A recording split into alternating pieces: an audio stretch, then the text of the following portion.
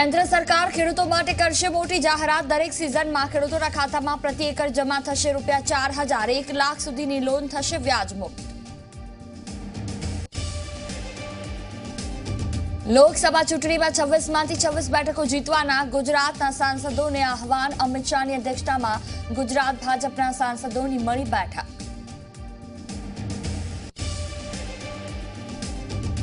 LRD paper leak કેસમાં મુખ્ય આરોપી સહિત ત્રણની ધરપકડ હરિયાણા દિલ્હીની ગેંગને કર્ણાટકના પ્રેસમાંથી હાથ લાગ્યું હતું પેપર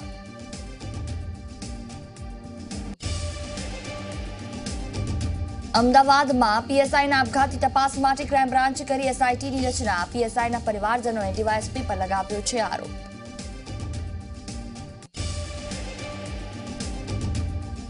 સુરતમાં હિટ એન્ડ રનની ઘટનામાં આરોપી કાર ચાલક સંદીપ ગુપ્તાની અટકાયત જાણીતા બિલ્ડરની કાર હોવાનું આવ્યું છે સામે ડાંગમાં લક્ઝરી બસ અકસ્માત આ ત્રણેય આરોપીઓને કોર્ટે કર્યા જેલ હવાલે દસ લોકોના થયા હતા મોત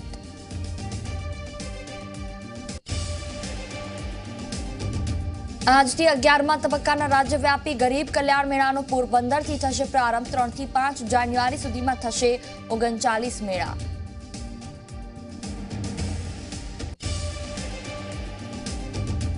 ઉત્તર પ્રદેશના નાયબ મુખ્યમંત્રી બે દિવસની ગુજરાત મુલાકાતે જગન્નાથ મંદિરના સંતો મહંતોને પ્રયાગરાજના કુંભના મેળાનું આપશે આમંત્રણ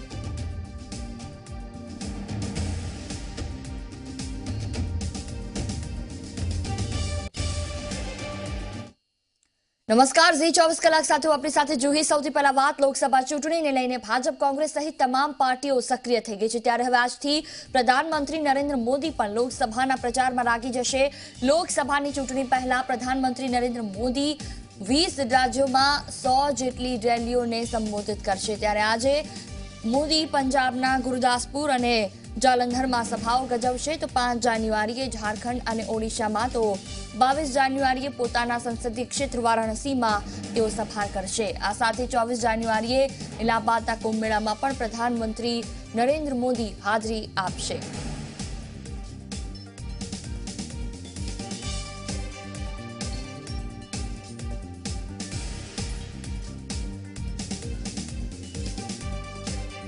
તો ટોટલ લોકસભા ચૂંટણી પહેલા સો જેટલી સભાઓ સમગ્ર દેશમાં વડાપ્રધાન કરશે જેમાં આજથી તેના પગરણ માંડશે પંજાબમાં આજે તેઓ બે સભાઓ કરશે ચાર જાન્યુઆરીએ મણિપુર અને અસમમાં સભા સંબોધશે વીસ રાજ્યોમાં સભાઓ સંબોધશે વડાપ્રધાન નરેન્દ્ર મોદી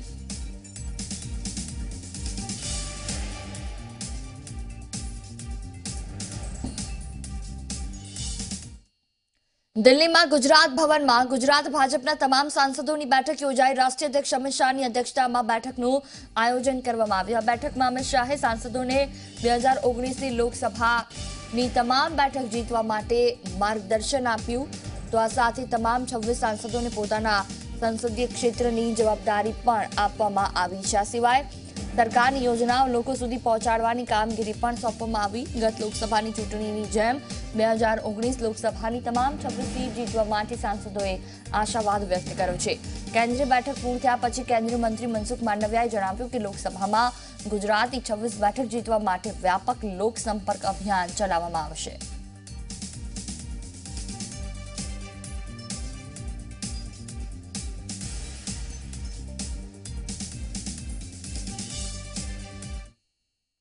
આ બેઠકની અંદર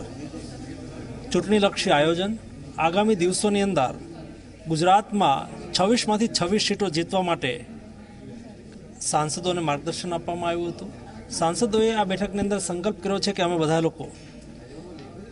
ગુજરાતની અંદર ગઈ વખતે જે રીતે છવ્વીસમાંથી છવ્વીસ સીટો મેળવીને વિજય થયા હતા એ જ રીતે આજના માર્ગદર્શનના આધારે અમે સૌ નીચે પાર્ટી આપેલા કાર્યક્રમોનું અમલીકરણ કરીશું અને છવ્વીસમાંથી છવ્વીસ સીટો જીતીશું આગામી લોકસભાની ચૂંટણી પહેલા બીજેપી સતત પાર્ટીને મજબૂત કરવા માટે તૈયારીઓમાં જોતરાઈ ગઈ તેની વચ્ચે જાણીતી બોલિવૂડ અભિનેત્રી મોસમી ચેટર્જી બીજેપીમાં જોડાઈ ગયા બીજેપીના મહાસચિવ અને પશ્ચિમ બંગાળમાં પાર્ટી પ્રભારી કૈલાશ વિજયગીરીની હાજરીમાં તેમણે બીજેપીનો કેસર ધારણ કર્યો એવું માનવામાં આવી રહ્યું છે કે મોસમી ચેટર્જીના બીજેપીમાં જોડાવાથી પાર્ટીને પશ્ચિમ બંગાળમાં ફાયદો થશે આ પહેલા પણ પશ્ચિમ બંગાળ સાથે સંબંધ રાખનાર અનેક બોલિવૂડ હસ્તીઓ બીજેપીમાં જોડાય છે એવી શક્યતા પણ વ્યક્ત કરવામાં આવી છે કે મોસમી ચેટર્જી બે હજાર ઓગણીસની લોકસભાની ચૂંટણી લડી શકે છે આ પહેલા તે બે હજાર ચારમાં કોલકાતાના ઉત્તર પૂર્વ મત વિસ્તારથી કોંગ્રેસની ટિકિટ પર ચૂંટણી લડ્યા હતા પરંતુ સીપીઆઈએમના ઉમેદવાર સામે હારનો સામનો કરવો પડ્યો હતો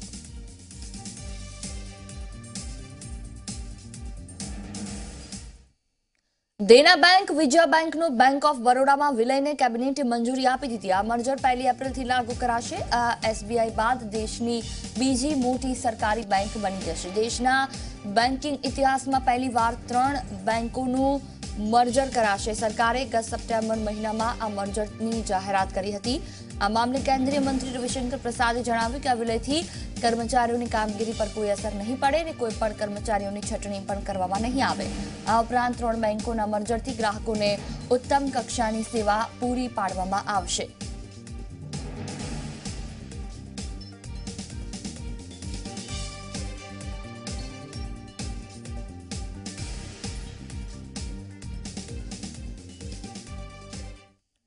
લોકસભા ચૂંટણી પહેલા મોદી સરકાર ખેડૂતોને મોટી ભેટ આપી શકે છે ખેડૂતોને સરકાર હવે ખેતી માટે દરેક સિઝનમાં ચાર હજાર પ્રતિ એકરના દરથી આર્થિક મદદ મળશે પૈસા સીધા તેમના ખાતામાં મોકલવામાં આવશે તો તેની સાથે સરકાર ખેડૂતોને એક લાખ સુધી વ્યાજ મુક્ત લોન આપશે અત્યાર સુધી ચાર ટકા વ્યાજદરે ખેડૂતોને પાક લોન આપવામાં આવતી હતી આ યોજનાની જાહેરાત આ અઠવાડિયે કરવામાં આવી શકે છે જેના કારણે સરકાર પર વાર્ષિક લગભગ અઢી લાખ કરોડનું આર્થિક ભારણ વધશે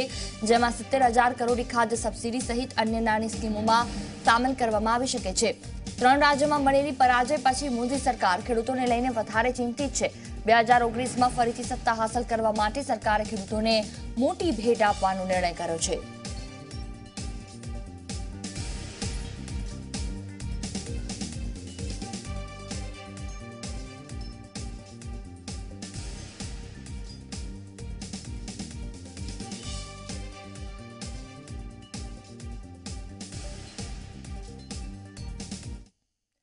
વાત કરીએ હવે વચેટિયાના રાજને કારણે નારાજ થતા ખેડૂતોની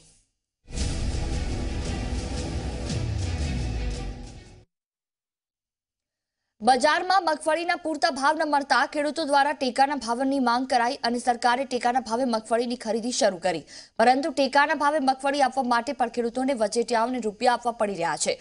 વાત માનવામાં આવે તેવી નથી પરંતુ ગોંડલ માર્કેટયાર્ડના વાયરલ થયેલા એક વિડીયોમાં આ બાબત સ્પષ્ટ થઈ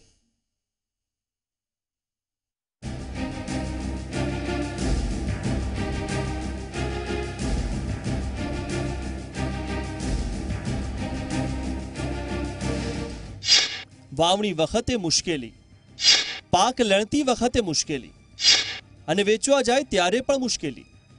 આ દશા છે ગુજરાતના ખેડૂતોની ખેડૂતોને મગફળીના પૂરતા ભાવ મળી રહે તે માટે સરકાર દ્વારા ટેકાના ભાવે ખરીદી કરવામાં આવી રહી છે અને ગુજરાતના અનેક ખરીદ કેન્દ્રો પર મગફળીની ખરીદી થઈ રહી છે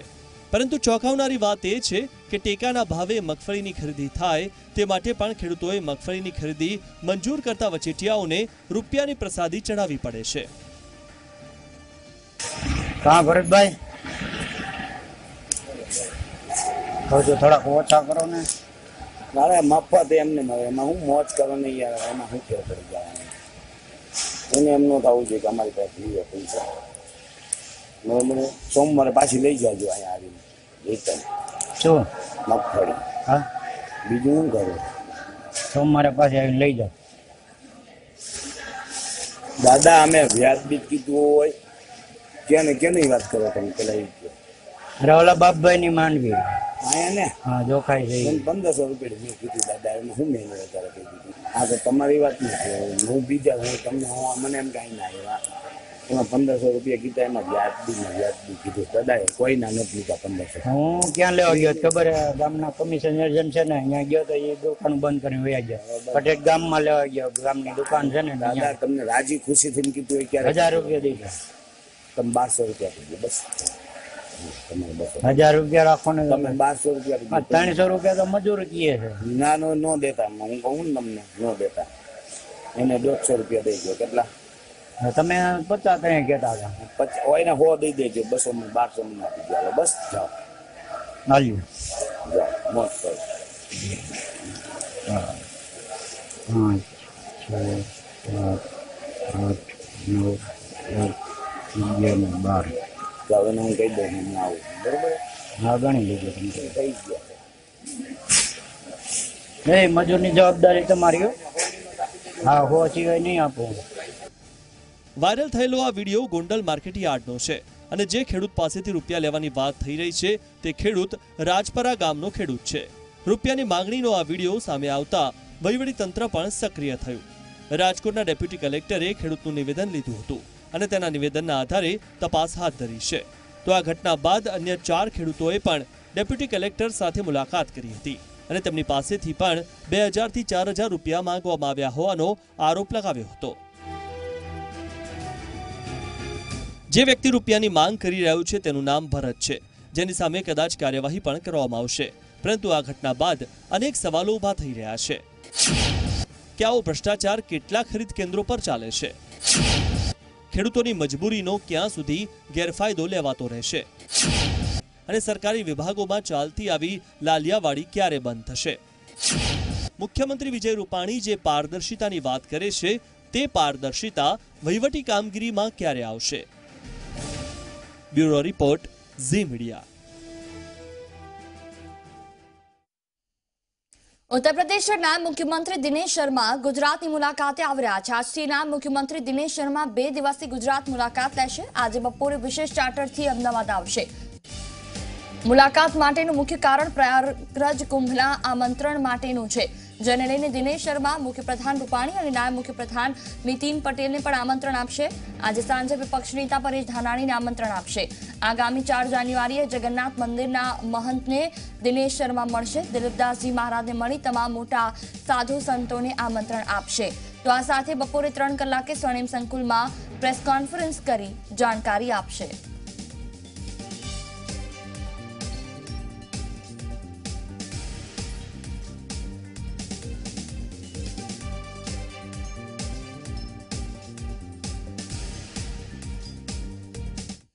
ને વાત કરીએ હવે પેપર લીકના મોટા ખુલાસાની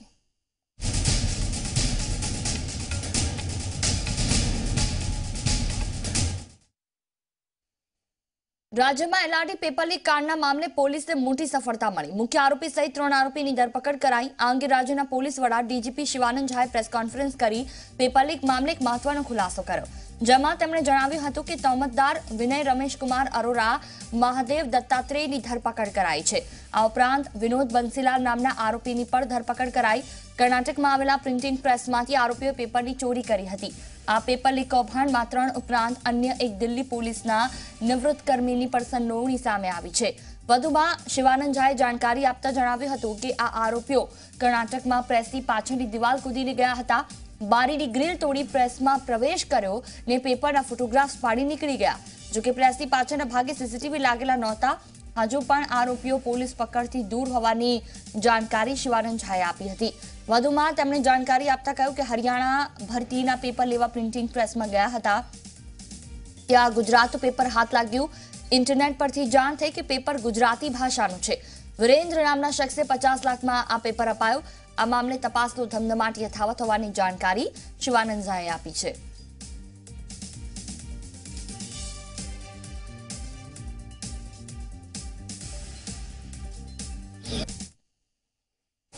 એ વિનય રમેશ કુમાર અરોરા અને બે કર્ણાટકાના માણસો છે બિદરના મહાદેવ દત્તાત્રેય અસ્તુરે અને વિનોદ બંસીલાલ રાઠોડ એના સાથે એક ચોથો માણસ છે દિલ્હીના એક પોલીસ પરિવાર સાથે જોડાયેલા છે જે ભરતી થયા એમાં પણ એના ડોક્યુમેન્ટ્સ ખોટું હતું એનું સંધાને ખબર પડી દિલ્હી પોલીસમાંથી એને કાઢી દેવામાં આવ્યું એમનું નામ વિનોદ ચિક્કારા છે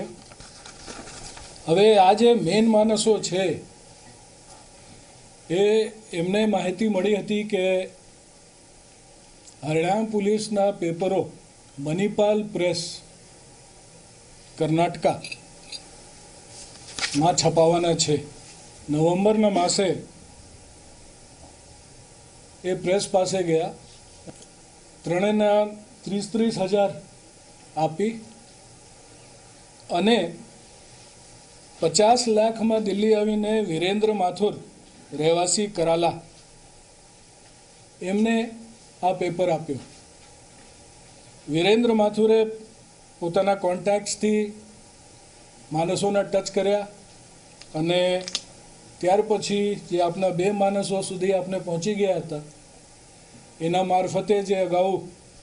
આપના પાસે વિગતો આવી હતી કઈ રીતે અહીંથી માણસો લઈ ગયા હતા અને દિલ્હી ગયા હતા એ કનેક્શન જોઈન થયું વાત કરી હવે પીએસઆઈના આપઘાતની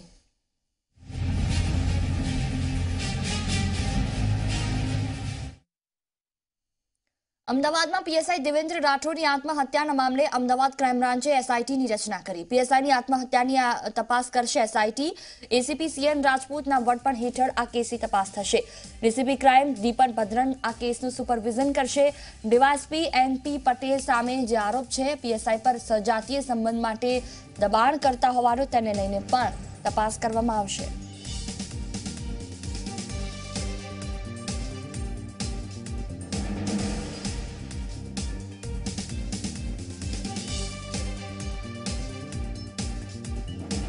અમદાવાદમાં પીએસઆઈની આત્મહત્યાની તપાસના અંગે રાજ્યના પોલીસ વડા ડીજીપી શિવાનંદ ઝા અને ગૃહ રાજ્યપ્રધાન પ્રદીપસિંહ જાડેજાએ જાણકારી આપતા જણાવ્યું હતું કે અમદાવાદ ક્રાઇમ બ્રાન્ચને આ તપાસ સોંપવાનો નિર્ણય કરાયો છે પોલીસ કર્મીની આત્મહત્યા અંગે સરકાર સંવેદનશીલ છે ને અકસ્માતે મોતનો ગુનો નોંધી વધુ તપાસ હાથ ધરી છે શિવાનંદ ઝાએ ન્યાય તપાસ કરવાની ખાતરી આપી બીજી બાજુ પ્રદીપસિંહ જાડેજાએ જવાબદાર સામે કડક કાર્યવાહી કરવાની પણ જાણકારી આપી હતી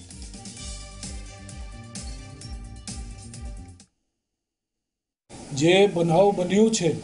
એ બનાવની તપાસ અમે ક્રાઇમ બ્રાન્ચને શિફ્ટ કરી છે અને ક્રાઇમ બ્રાન્ચ અમે અત્યાર સુધી જેટલા એમને તપાસ આપ્યા છે એકદમ નિષ્પક્ષ રીતે અને સારી રીતે એ તપાસ કરી છે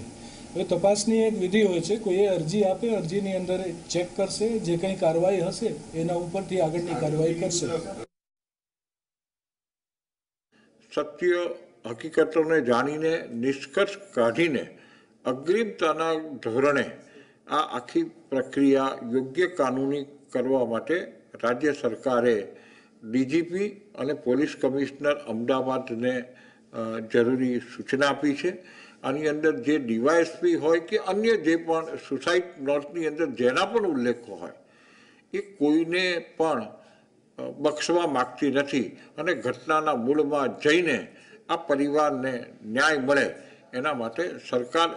સંવેદનશીલતાથી કૃત નિશ્ચયી છે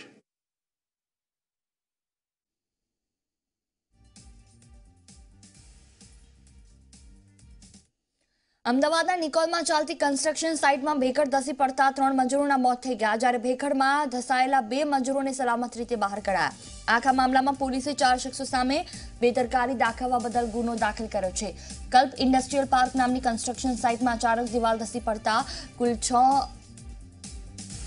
મજૂરો દટાયા હતા સામાન્ય રીતે આવી કન્સ્ટ્રક્શન સાઇટની આજુબાજુ આરસીસીની પ્રોટેક્શન વોલ ફરજિયાત બનાવવી પડે છે આ સાઇટની આજુબાજુ આવી કોઈ વોલ રાખવામાં નથી આવી ઘટનાને પગલે પોલીસે સેફટીના સાધનો પણ ઉપલબ્ધ ન કરાવાય ત્યાં સુધી સાઇટ બંધ રાખવાનો આદેશ કર્યો છે અમદાવાદ કોર્પોરેશનના એસ્ટેટ વિભાગે પણ કન્સ્ટ્રક્શન ઓફ લેબર સેફટી અંગે તપાસ શરૂ કરી રજા ચિઠ્ઠી રદ કરવાની દિશામાં કાર્યવાહી હાથ ધરી છે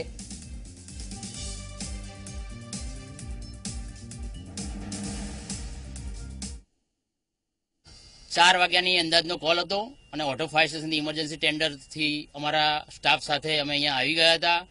એક જ મોટી તકલીફ હતી કે આજુબાજુની ભેખડ હતી જે અમને પૂરો ભય રહેતો હતો કે ભેખડ અમારી ઉપર ધસી જશે અને ખરેખર જેવી બોડી નીકળતી હતી થોડીક દેખાતી હતી અને અમારા સ્ટાફ ઉપર જ ભેખડ આવી જતી હતી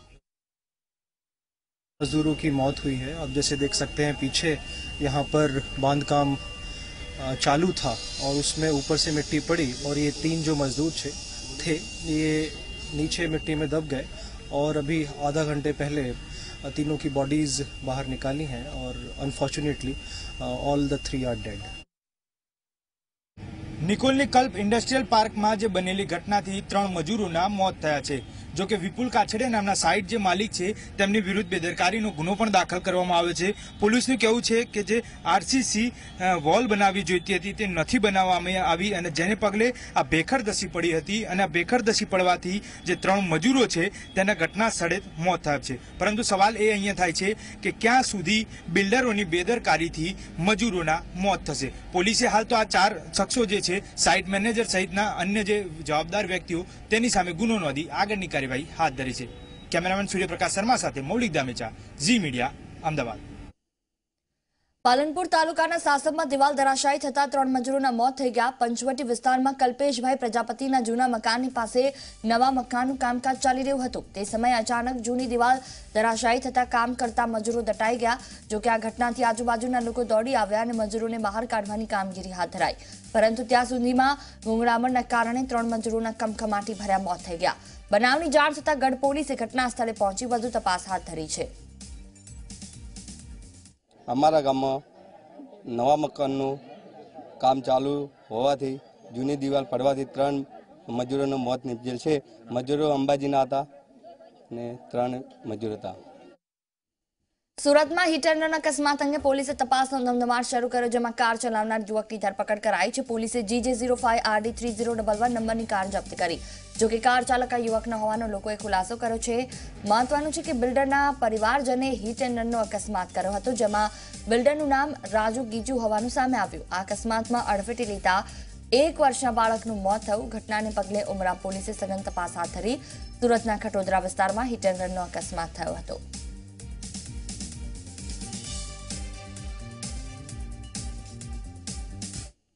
પણ હજુ પણ હજુ પણ એ વ્યક્તિને મરનારના પિતાશ્રીને ખબર નથી કે ખરેખર એ જ વ્યક્તિ છે કે નહીં એના સીસીટીવી ચેક કરવા પડશે આજુબાજુ બધું ચેક કરવું પડશે ત્યાંથી ડિક્લેર થશે અને ત્યાંથી કમ્પેર થશે કે એ જ વ્યક્તિ છે ત્યાંથી ખરાઈ થશે ત્યાર પછી આ વસ્તુને ખરેખર માનવામાં આવશે ડ્રાઈવર એક છે એ જ ડ્રાઈવર છે બીજો નથી એ જ છે ગાડી આ ચલાવતો હા એ જ ચલાવતો પોલીસ લાવી છે બરાબર હા બરાબર છે તમે જોયો તો જોયો બરાબર પહેલા પહેલા બી જોયો તો ત્યાં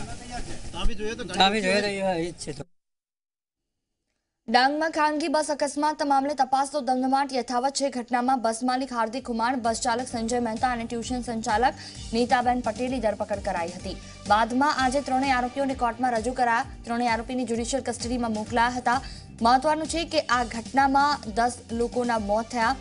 ડાંગના મહાલ બરડીપાડામાં ખાનગી લક્ઝરી બસમાં અકસ્માતમાં દસ લોકોના જીવ ગયા છે જેને લઈને હવે સઘન તપાસ હાથ ધરાઈ છે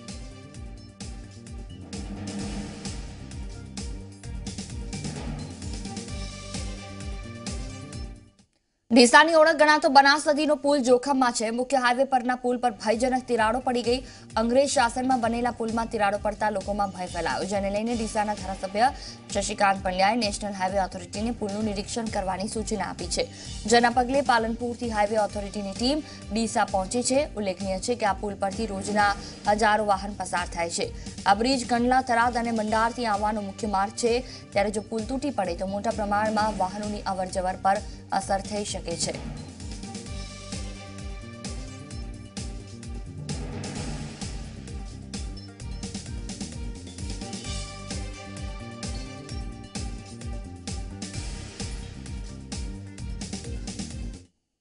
દેશના રેલવે સ્ટેશન પર રોજ લાખોની સંખ્યામાં મુસાફરો મુસાફરી કરે છે આવા પ્રવાસીઓના સામાન રેલવે સ્ટેશન પર ઉચકી ટ્રેનમાં મૂકવાનું કામ કુલી કરે છે વડોદરા રેલવે સ્ટેશન પર દેશમાં પ્રથમવાર કુલીઓ માટે એવો નિર્ણય લેવાયો જેનાથી સીધો ફાયદો મુસાફર અને કુલી બંનેને થશે રેલવે તંત્રએ શું નિર્ણય લીધો જોઈએ આ ખાસ રિપોર્ટ